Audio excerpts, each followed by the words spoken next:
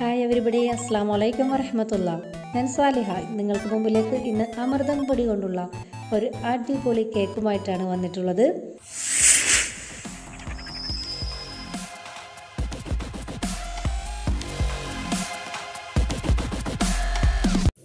എങ്ങനെയാണ് അമൃതം പൊടി ഉപയോഗിച്ച് നല്ല അടിപൊളി കേക്ക് തയ്യാറാക്കുന്നതെന്ന് നമുക്കൊന്ന് നോക്കാം.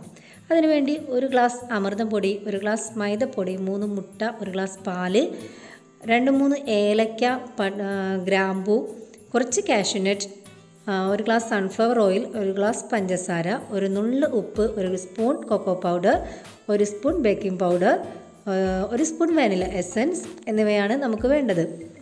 ആദ്യം നമുക്ക് മൈദമാവും അംഗൻവാടി പൊടിയും മിക്സിയിലൊന്ന് പൊടിച്ചെടുക്കാം. അതോടൊപ്പം നമ്മൾ മാറ്റിവെച്ചിട്ടുള്ള കൊക്കോ പൗഡറും ബേക്കിംഗ് പൗഡറും ഉപ്പും അതുകൂടി ചേർത്ത് കൊടുക്കാം. ഇതെല്ലാം നന്നായി പൊടിച്ച് നമുക്കൊന്ന് മാറ്റി വയ്ക്കാം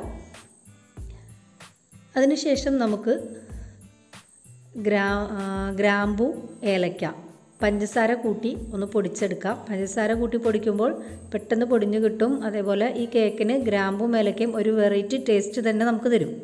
സാധാരണ അമൃതം പൊടിയുടെ ടേസ്റ്റ് കുട്ടികൾക്കൊക്കെ ഇഷ്ടപ്പെടില്ല. പക്ഷേ ഇതുപോലെ ഒന്ന് ട്രൈ ചെയ്താൽ ഏത് കുട്ടിയും കഴിക്കും.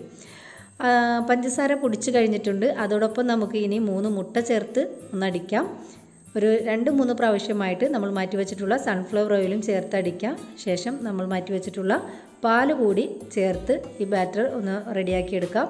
ഇനി നമ്മുടെ ആദ്യം മാറ്റി വെച്ചിട്ടുള്ള ഡ്രൈ ഇൻഗ്രീഡിയൻസിലേക്ക് നമുക്ക് ഈ ബാറ്റർ ഒന്ന് ചേർത്ത് മിക്സ് ചെയ്തെടുക്കാം.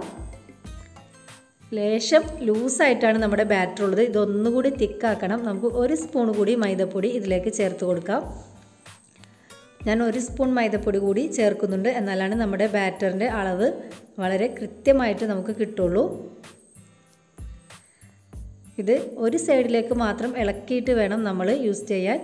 ഇനി നമ്മൾ കേക്ക് ടിൻ റെഡിയാക്കി വെച്ചിട്ടുണ്ട്. ആ കേക്ക് ടിന്നിലേക്ക് നമ്മുടെ ബാറ്റർ ഒഴിച്ച് നന്നായി ടാപ്പ് ചെയ്ത് കുറച്ച് കാഷ്യൂനട്ട് വെച്ച് അലങ്കരിക്കാം.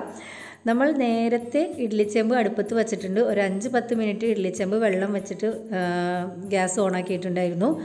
അങ്ങനെ പ്രീഹീറ്റ് ചെയ്ത ഇഡ്ലിച്ചെമ്പിലേക്ക് വേണം നമ്മളുടെ കേക്ക് ബാറ്റർ ടിൻ നമുക്ക് എടുത്തു വയ്ക്കാൻ ഈ ടിൻ നമ്മൾ ഒരു ഫോയിൽ പേപ്പർ വെച്ചിട്ടോ അല്ലെങ്കിൽ ഒരു സ്റ്റീലിന്റെ പാത്രം വെച്ചിട്ടോ മൂടണം.